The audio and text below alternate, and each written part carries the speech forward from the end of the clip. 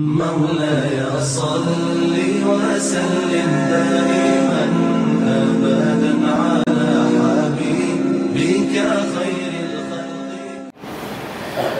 بسم الله الرحمن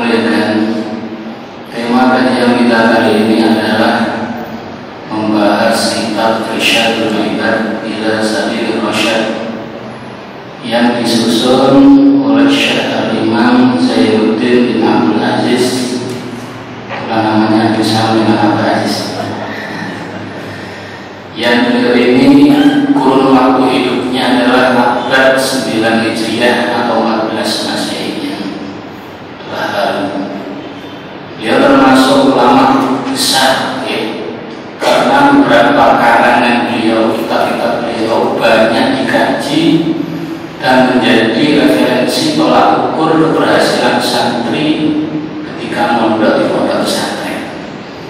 Apa yang kalian terkenal? Kitab Fathul Mu'in dan itu menjadi kajian minimal seorang santri harus menguasai. Kemudian masih banyak lagi beliau yang dibahas juga oleh para ulama dan terjadi di pondok pesantren. Termasuk kitab Risal Kitab ini pernah diberikan syarat oleh orang Indonesia ulama yang berasal dari Jambes sendiri yaitu almarhum Yeji Muhammad Kaisan dari Jambes terkenal sekali. Itu pernah diberikan syarat pada kitab ini dan beliau juga pernah mengarang kitab Sirajul yang menjadi pedoman dan jadi buku utama atau kitab utama kajian utama di Al Azhar Kairo. Bahkan saking hebatnya karangan beliau, beliau diberikan warga negara istimewa. Tapi beliau nggak mau, tetap ngajar di kota yang kecil, di pondok yang relatif yang biasa-biasa saja, tapi ternyata kualitasnya luar biasa. Itulah gambaran ulama Indonesia. Alhamdulillah. Mudah-mudahan kita barokahnya kitab ini diberikan ilmu yang manfaat. Allahumma amin ya rabbal termasuk juga putra putri kita, keluarga kita keluarga yang sakinah wa rahmah,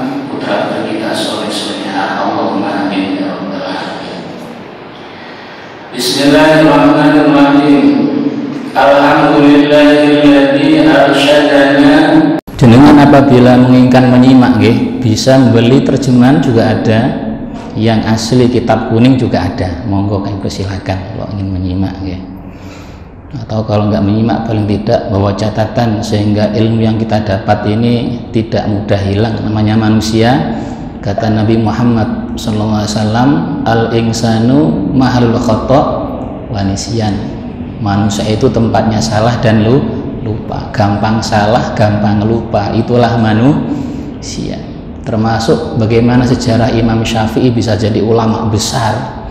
Hafal Al-Quran ketika usia 7 tahun 9 tahun sudah hafal kitab Al-Muwatta. Okay. 13 tahun sudah memberikan fatwa apa di antara kunci beliau? Beliau termasuk backgroundnya keluarganya di bawah garis kemiskinan. Tapi kelemahan daripada ekonomi keluarga tidak menjadikan beliau lemah dalam bidang ilmu. Setiap dapat ilmu dicatat. Okay. kalau nggak ada kertas itu nyari. Kertas di pinggir jalan diambil nyatet ilmu. Setiap ada kertas itu buat nyatet itu. Masya Allah. Dan dihafal dia pulang itu kitabnya. Sehingga disun jadi sebuah kitab. Itu catatan-catatan kecil dari Imam Syafi'i. Jadilah ulama yang besar itu. Bismillahirrahmanirrahim. Alhamdulillahilladzi arsyadana ila ta'atih. Wajazirna an maksiatih Kiai Musannaf atau Syekh Zainuddin mengawali menyusun kitab ini memuji kepada Allah yang mana Allah adalah zat yang menunjukkan kita menuju ketaatan dan mencegah kita dari berbagai macam maksiat. Jadi kita ini para hadirin harus kita sadari dan akui kita bisa berbuat baik mendapatkan hidayah Allah itu semata-mata memang petunjuk dari Allah pertolongan dari mari kita pikirkan kalau orang kaya miskin ternyata semua dikasih. Gini apa enggak orang kaya Islam banyak yang kaya. Orang kaya non Islam juga banyak. Miskin juga begitu sama artinya dalam ukuran materi siapa pun dikasih. Bahkan udara yang kita hirup sehari-hari ini Allah tidak pilih kasih. Siapa pun dika, dikasih. Iman gak iman dikasih sama Allah termasuk sinar matahari ketika menyerang dunia. Kok Allah milih-milih ini iman dapat sinar matahari? Ini gak iman gak dapat. Tidak semua dikasih. Karena semua adalah makhluk ciptaan Allah.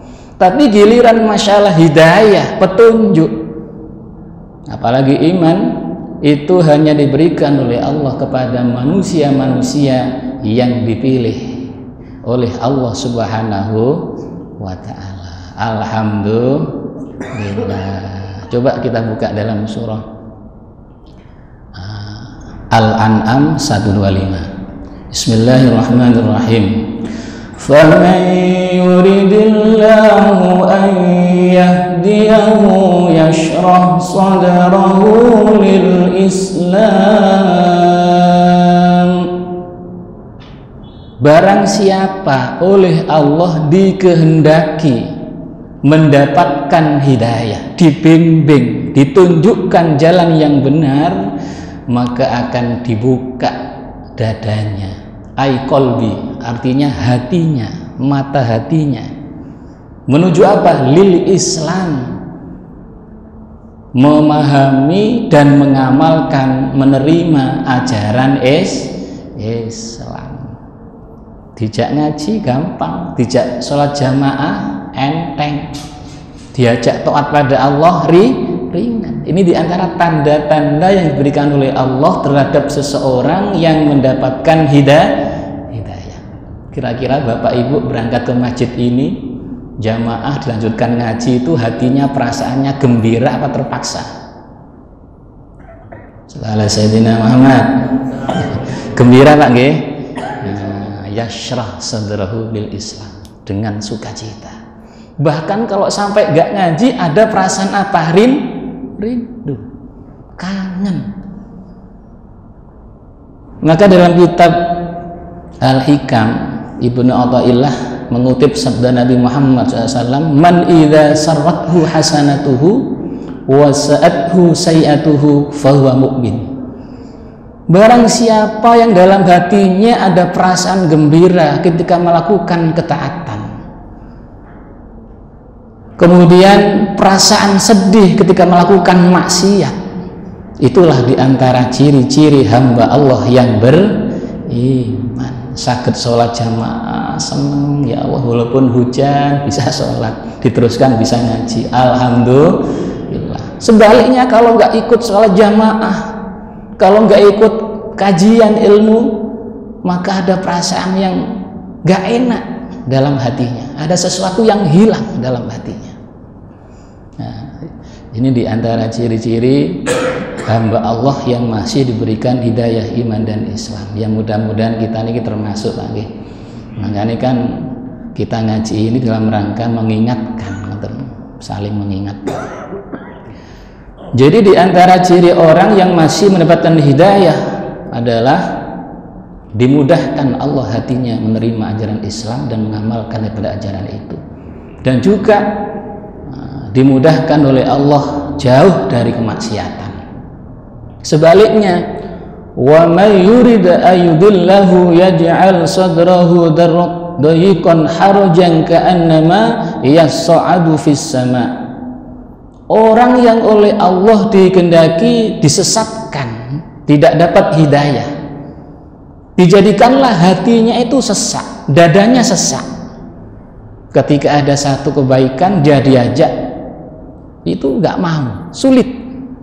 Bahkan digambarkan dengan gambaran yang indah kata Allah bagaikan orang yang naik ke atas langit. Jadi orang itu kalau mendaki misalkan gak usah ke langit gunung aja mendaki ke gunung itu pernafasannya semakin longgar apa semakin sesak Pak?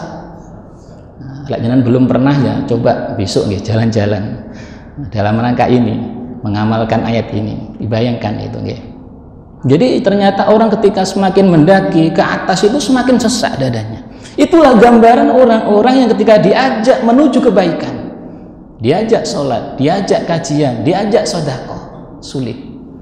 Nah, ini berarti tanda-tanda orang yang belum mendapatkan hidayah kata Yang mudah-mudahan kita ini termasuk orang-orang yang selalu mendapat hidayah dan bimbingan dari Allah Subhanahu wa taala. Allahumma maka kita bersyukur sampai dengan saat ini kita oleh Allah masih diberikan hidayah menuju ketaatan dan jauh dari kemaksiatan. Allahumma alhamdulillahirabbil alamin. Wa ashhadu an la ilaha illallah iqraran bi ashhadu anna muhammadar rasulullah i'tirafan bi nubuwwatihi. Dilanjutkan dengan Syekh Zainuddin bersaksi bahwasannya sesungguhnya tidak ada Tuhan yang wajib disembah kecuali hanya Allah Subhanahu wa taala. Dengan sebetul-betulnya pengakuan bahwasanya Tuhan itu hanya satu yaitu Allah Subhanahu wa taala. Tidak ada yang menyamai dan tidak ada yang tidak ada sekutu bagi bagi Allah. Ini harus betul-betul kita tanamkan dalam hati dan etikot kita. Nah, makanya kita kalau ditanya Anda iman Islam apa tidak? Jawabannya tegas. Kami iman, kami Islam. Kadang-kadang kan enten Mbak ditanya, iman ya, insya Allah iman. Ini meragukan berarti. Ditakoni iman Islam kok insya Allah meragukan. Padahal syahadatnya nggak ada insya Insya Allah tegas asyhadu alla ilaha illallah. Sesungguhnya kami bersaksi tiada Tuhan selain tegas nggak pakai insya Allah. Jadi kalau masalah iman Islam tegas. Islam Islam. Iman iman wahdaniyah. Tidak ada sekutu bagi Allah Maha Esa. Yang berikutnya bersaksi bahwasanya sesungguhnya Nabi Muhammad Sallallahu Alaihi Wasallam itu adalah utusan Allah. Dengan pengakuan bahwasanya Nabi adalah Nabi akhir zaman khatamin nabiyyin Nabi penutupnya para para Nabi Sayyidul Anbiya wal Mursalin jadi tidak ada Nabi lagi setelah Nabi Muhammad Sallallahu Alaihi Wasallam Kalau ada orang yang ngaku-ngaku jadi nabi, kita wajib tidak percaya. Itu. Saat ini kan banyak sekali Pak. Nah, Aliran-aliran itu tiba-tiba baiat, tiba-tiba mengumumkan dia jadi nabi. Ada lagi yang terakhir ini mendirikan apa? Kerah keraton. Akhirnya ditangkap polisi rojone. Ya ini macam-macam ya emang zaman akhir itu. Dan itu nanti akan terjadi sampai akhir zaman memang. Orang yang ngaku-ngaku jadi nabi. Kita harus betul-betul kuatkan etikot kita termasuk anak cucu kita bahwa setelah Nabi Muhammad Sallallahu Alaihi Wasallam tidak ada nabi lagi. Wassalatu wassalamu ala liirsyadil ibadi wa ala alihi wa sahbihi al-muhtadin ila sabilir rasyadi Salawat dan salam juga mudah-mudahan terlimpahkan kepada utusan Allah siapa? Nabi Muhammad sallallahu alaihi wasallam yang telah menunjukkan kita memberikan keterangan pada kita kepada hamba-hamba Allah jalan yang lurus dan juga mudah-mudahan salawat dan salam terlimpahkan pada keluarga Nabi dan para sahabatnya yang mendapatkan hidayah menuju jalan yang lurus. Memang ini satu rangkaian uh, yang komplit guys setelah Alhamdulillah uh, syahadat kemudian sholawat dan salam jangan sampai kita lupakan begitu pentingnya sholawat Allah sendiri dan para malaikatnya juga berikan contoh baca sholat sholawat.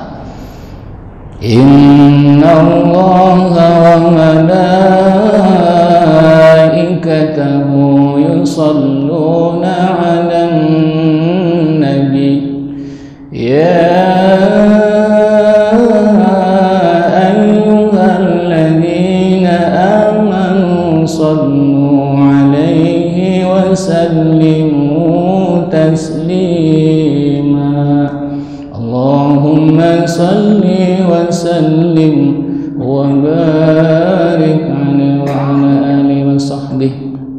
Sesungguhnya Allah dan para malaikatnya bersolawat kepada Nabi Hai orang yang beriman Bacalah solawat dan salam kepada Nabi Muhammad Sallallahu Alaihi Wasallam Sebagian fadilah solawat Man sholla alaihi wahidatan sallallahu alaihi ashran.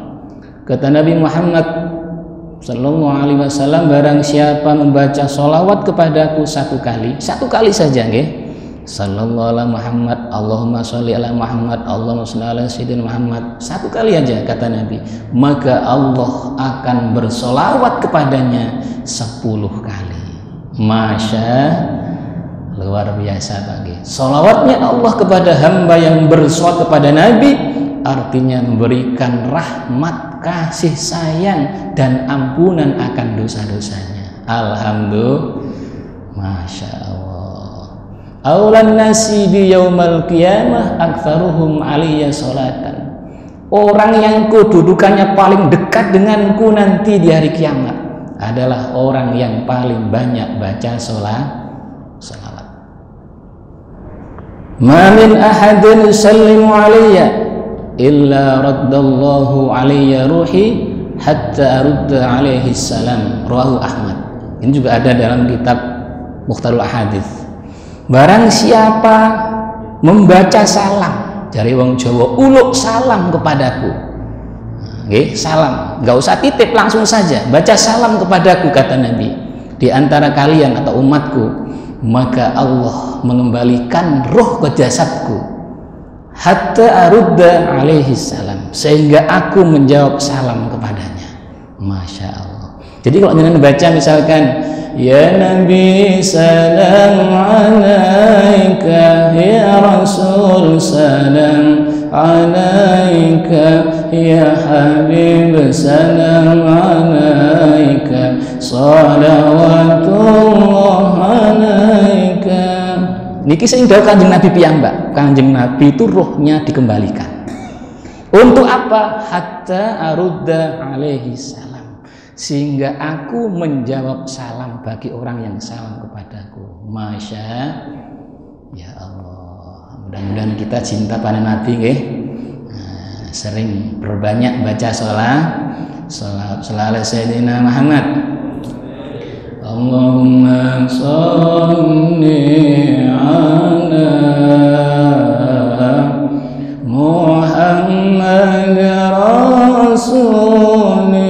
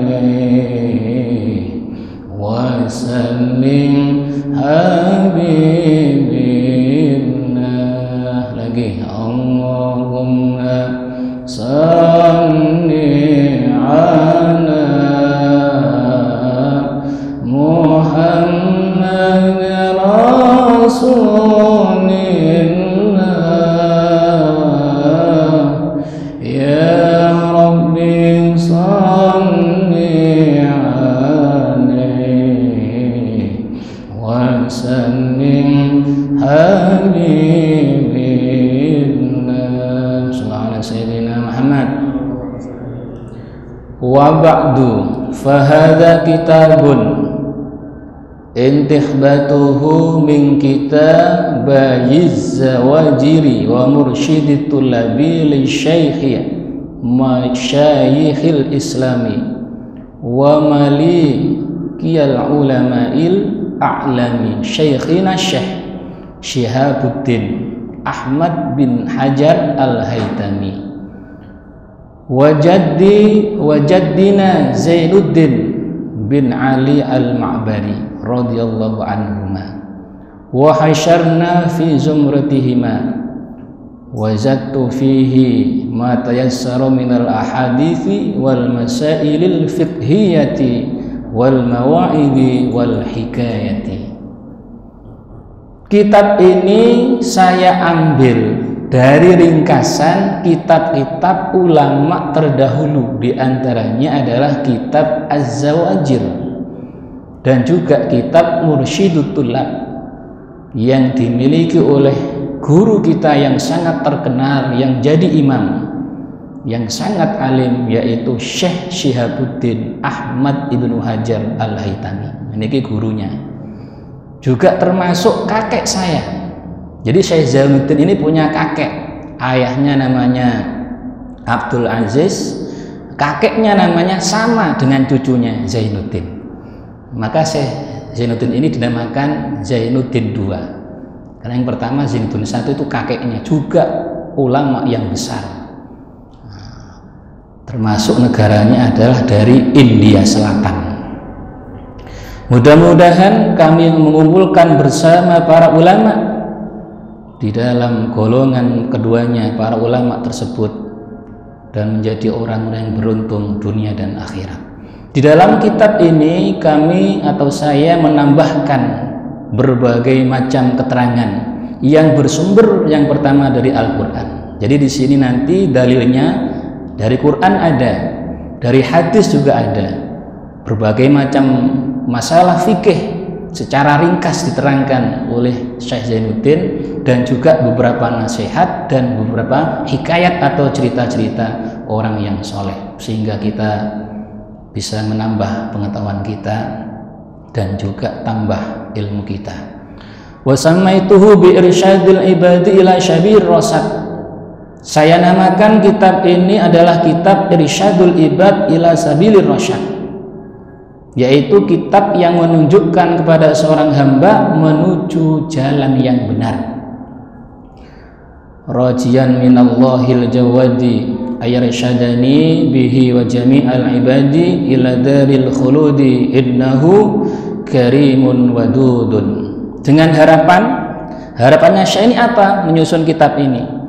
Mudah-mudahan mengharap kepada Allah yang maha loman yang maha luar biasa kasih sayangnya pada kita agar berkenan menunjukkan saya dan seluruh hamba-hamba Allah menuju jalan yang benar, jalan yang eh, kekal yaitu menuju akhirat ketika kembali kepada Allah. Sesungguhnya Allah adalah zat yang maha mulia dan zat yang maha belas kasih. Itulah Allah Subhanahu wa taala. Allahumma amin ya rabbal alamin.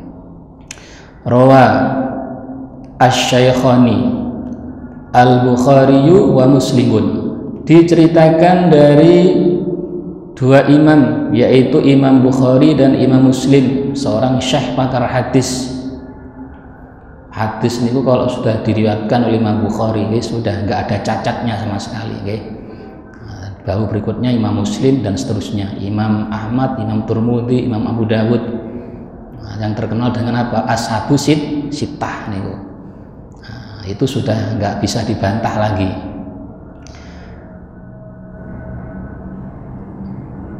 An Umar bin Al-Khattab radhiyallahu an. Qala sami'tu Rasulullah sallallahu alaihi wasallam yaqulu Innamal a'malu binniyati wa innama likulli imri'in ma nawa. Faman kanat hijratuhu ila Allah wa rasulih fahijratuhu ila Allah wa rasulih wa man kanat hijratuhu lidunya yusibuha aw imra'atin yunkihuha fahijratuhu ila ma hajara ilaih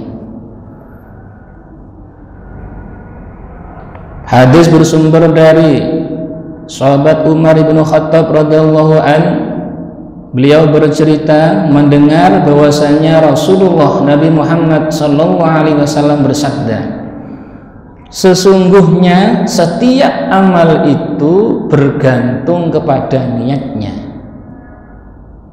Dan ketika seseorang melakukan satu aktivitas atau satu amal pasti berbarengan dengan ni niatnya. Wa innama likulli manawa. Setiap seseorang pasti memiliki niat yang diniatkan.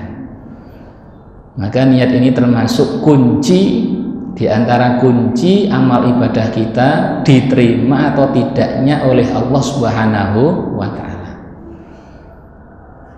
Tapi ini berhubungan dengan masalah amal nggih, amal baik tentunya. Baik itu yang wajib maupun sunnah maupun mubah. Nah, wajib, sunnah, mubah. Itu harus betul-betul diniati mencari ridhonya Allah. Tapi kalau amal yang buruk, maksiat, itu diniati apa pun tetap maksi, maksiat. Itu bedanya, nggih. Kalau amal api di antara syarat diterima oleh Allah adalah niat yang baik. Tapi kalau amal buruk, baik maupun buruk niatnya tetap bu, buruk tetap do, dosa. Maka ada satu gambaran hadis di kitab yang lain ya, biar jadi tambahan untuk kita. Kam min amalin yatasawwaru bi amalil akhirah fayusiru bi amalid dunya. Kenapa? bisu innya banyak sekali satu amal itu kelihatannya kayak amal akhirat tapi ternyata sia-sia hanya menjadi amal dunia cuma mendapatkan capek dan lelah saja. Kenapa? Bisu innya karena niatnya keli keliru. Nah, ini ini menunjukkan begitu pentingnya nih niat. Sholat ngaji betul-betul ditata niatnya kita. Bismillahirrahmanirrahim. Inni tawakkaltu 'ala Allah la haula wala quwata illa billahil aliyil azim. Saya ngaji ini bukan karena si itu, si A, si B takut itu, takut ini bukan, tapi semata-mata memang melaksanakan perintah Allah, perintah Rasulullah Nabi Muhammad sallallahu alaihi wasallam. Ini kelihatannya gampang, Pak, tapi kadang-kadang kita lupa. Sehingga kalaupun lupa, itu boleh di tengah-tengahnya kita perbarui niat lagi. Nggak apa-apa. Ambil contoh misalkan kayak makan. Kita lupa baca doa diberi contoh oleh Nabi Bismillahi fi awalihi wa akhirihi. Jadi tidak ada kata apa terlam terlambat. Apalagi seperti saya ini nggih berkecimpung di dunia ngaji ini wah kalau nggak noton niatnya sekedar apa Pak? Mencari amplop. Tapi alhamdulillah saya nggak nggak seneng amplop Pak ya saya alhamdulillah itu ini ditoto betul ini ya Allah itu Oke. Jadi yang wajib sunnah. Termasuk yang mubah itu coba gitu jenengan kelihatannya bekerja beraktivitas nggih bersih-bersih menyapu ibu-ibu nggih mungkin mencuci memasak. Itu kalau niatnya benar jadi amal akhir akhirat. Selalu Sayyidina Muhammad. Nah, nggih Bu nggih. Jadi kalau jenengan itu di rumah jadi ibu rumah tangga ngelap-ngelap kaca, nyapu-nyapu, masak, mencuci itu kalau niatnya benar karena Allah, jadilah nilai ibadah. Bahkan nilainya itu mengalahkan ibadah itu sendiri. Pahalanya kayak sama dengan haji dan umroh dan mabrur. Bayangkan itu nggih. Padahal kan berat itu haji umroh itu biayanya besar tempatnya jauh. Tapi ketika seorang istri meladeni suami dengan baik mengurus rumah tangga dengan baik itu kata Nabi pahalanya menyamai haji dan um, umroh biasa padahal itu kan termasuk pekerjaan yang mubah sebenarnya itu jadi dengan niat yang benar, termasuk bapak-bapak bekerja, nah, diniati saya ini mencari nafkah untuk bekalnya ibadah, ibadah. Tidak sekedar mendapatkan gaji, kan? gaji pasti mendapat kita bekerja, gitu. Tapi kalau sekedar kita bekerja mencari uang, mencari gaji ya dapatnya itu. Tapi kalau niatnya karena Allah, kerjanya mendapat gaji untuk bekalnya ibadah, apalagi nanti nanti ada masjid asalam diperluas ya nanti ya. Nah, direnovasi dengan niat nanti biar bisa nyumbang masjid yang banyak. Alhamdulillah wah luar biasa itu. Termasuk amal jari amal jariah satu amal yang kita bisa kita tunggu-tunggu kita harapkan walaupun kita sudah meninggal dunia pahalanya mengalir terus masya Allah orang ketika mati itu amalnya putus semua sholatnya putus, ngajinya putus, ibadahnya putus, kecuali tiga. Satu adalah amal jari jariah. Jenengan nyumbang masjid, belikan karpet, ikut membantu masjid walaupun cuma membelikan satu bata, satu semen, satu sak semen misalkan, nggih. Itu termasuk. Apalagi lebih besar dari itu. Membantu pondok pesantren, membantu orang-orang yang tidak bisa sekolah itu bisa menjadi pahala yang mengalir. Yang kedua, ilmu yang bermanfaat. Biasakan pada anak kita beri contoh, mari nak kalau mau makan baca doa. Nah, itu termasuk kalau diamalkan terus sama anak kita, apalagi kalau kita ajarkan pada orang lain dan diikuti terus dilaksanakan, walaupun kita sudah meninggal, kita mendapatkan aliran pahala, ilmu yang manfaat yang terakhir doanya anak yang so yang soleh itu itu di antara harapan kita ketika sudah wafat nanti yang bisa uh, menolong kita ketika kita sudah menghadap Allah Subhanahu wa taala. Jadi itu. Kemudian yang berikutnya kam min amalin yatasawwaru bi amalid dunya. Tadi kan kan ibadah, ge. Sekarang amal-amal biasa banyak sekali amal yang kelihatannya kayak amal dunia, tapi ternyata yusiru bi amil akhirah bi husnin niyah menjadi amal akhirat. Berat timbangannya. Kenapa? Karena bagusnya niat. Nah, niat yang baik menjadikan kualitas amalnya itu menjadi amal akhirat dan menjadikan berat timbangannya di hadapan Allah. Tapi kalau amal buruk sebaik apa pun niat kita tetap do dosa. Saya itu korupsi ini lillahi ta'ala ikhlas bah korupsi kok ikhlas itu. Dia tetap elek tetap jelek saya ini mohon maaf ya ngerasani tetangga itu ikhlas saya karena memang betul itu faktanya seperti itu aduh ya dosa bagaimanapun itu dosa. Nah, jadi itu menunjukkan begitu pentingnya niat. Maka ada satu gambaran ya, kenapa orang itu ketika sholat kok sholatnya ternyata nggak dapat apa-apa, sia-sia, malah mendapatkan murkanya Allah. Digambarkan dalam surah al-maun فويل للمصلين الذين هم عن صلاتهم ساهون الذين هم يراءون ويمنعون الماعون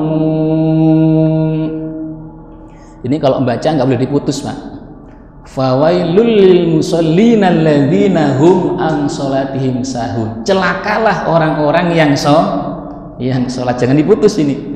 Kulek diputus, bah, salat kok ciloko gitu. Harus digandeng. Celakalah orang-orang yang salat yaitu orang yang lalai dari salatnya. Fisiknya salat, hati dan pikirannya lari ke mana?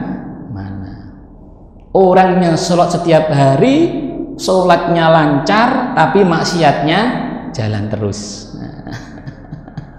Sholatnya khusyuk, kalau ngerasani tetangganya juga khusyuk. Ngajinya fase keras, tapi kalau ngilok wong mencaci orang juga fase keras. Itu di antaranya, gih. Kenapa di antara tadi itu? Ya salah niat tadi itu. Maka kita harus kondisikan.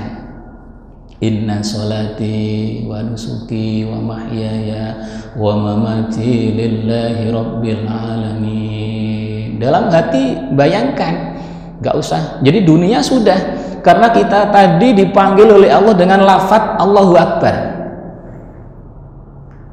Allahu Akbar, Allahu Akbar, Allahu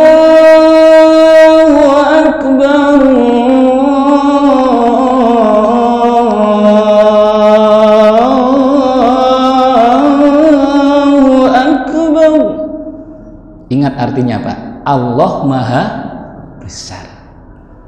Berarti kalau Allah itu Maha Besar segala-galanya, dunia, pekerjaan, anak, istri, rumah, dagangan itu kecil. Nah, ini kalau terbawa sampai sholat Pak, insya Allah sholat kita akan khusyuk. Qad aflahal mu'minun alladzina hum fi sholatihim khasyi'un. Itu. Jadi keseluruhan awal itu sudah ditata. Allahu Akbar itu panggilan undangan Allah yang maha besar, yang lain itu kecil. Nah, hanya Allah yang besar. Sholatku, ibadahku, hidupku, matiku, lillahi rabbil hanya untuk Allah. Tapi praktiknya ternyata kadang-kadang kita lupa. Bukan Allah yang besar, tapi dunia yang yang besar diwalik. Allahu Akbar. Lah engkau disik saya masih repot. Saya masih ngurus ini masih ngurus itu masih tanggung.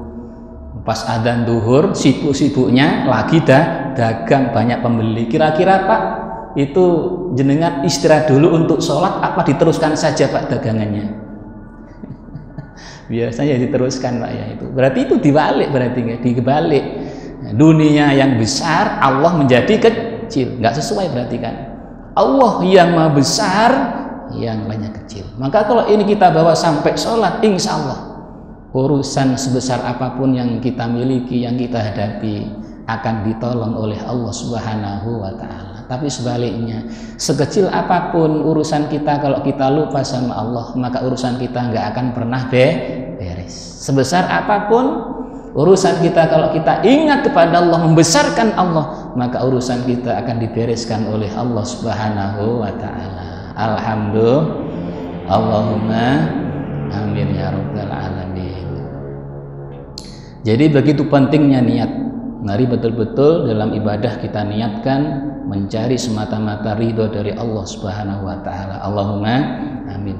Maka digambarkan oleh Nabi barang siapa berhijrah dengan tujuan mengharap ridhonya Allah taat kepada Rasulullah maka hijrahnya itu juga akan mendapatkan ridhonya Allah dan kecintaan dari Rasulullah Nabi Muhammad Sallallahu Alaihi Wasallam. Tapi barang siapa kepindahannya itu hijrahnya itu semata-mata li dunia yusibuha karena satu harta, satu materi dunia saja atau wanita yang akan dinikahi, fahijratuhu ila ilaih. Ya cuma itu yang didapatkan. Akhiratnya kosong. Tidak mendapatkan apa-apa. Masya Allah. Mari hadirin Oke, dengan ngaji ini membahas tentang pertama adalah niat. Kita tata kembali niat kita. Mudah-mudahan amal ibadah kita senantiasa mendapat ridho dari Allah Subhanahu wa taala. Niat kita dibimbing sama Allah selalu mendapatkan niat yang baik dalam ibadah kita dan terhindarkan dari berbagai macam musibah, bencana dan juga termasuk kemaksiatan. Allahumma amin ya rabbal alamin. Mungkin sementara sampai sini. Mudah-mudahan kita mohon pada Allah kita diberikan ilmu yang bermanfaat, barokahnya ngaji, seluruh hajat kita termasuk hajat keluarga dan putra-putri kita dikabulkan oleh Allah SWT. Barokahnya ngaji kita semuanya termasuk bangsa Indonesia khususnya Surabaya, Purima sekitarnya diselamatkan Allah dari berbagai macam musibah, bencana dan penyakit. Bismillahirrahmanirrahim.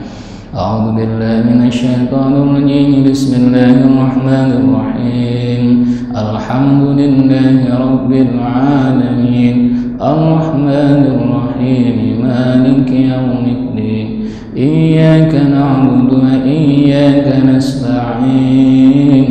اهدنا الصراط المستقيم. صراط الذين أنعمت عليهم غير المغضوب عليهم ولا الضالين رب اغفر لي ولوالدي وللمؤمنين آمين سبحانك اللهم وبحمدك أشهد أن لا إله إلا أنت أستغفرك وأتوب إليك Terima kasih dan maaf. Assalamualaikum warahmatullahi wabarakatuh.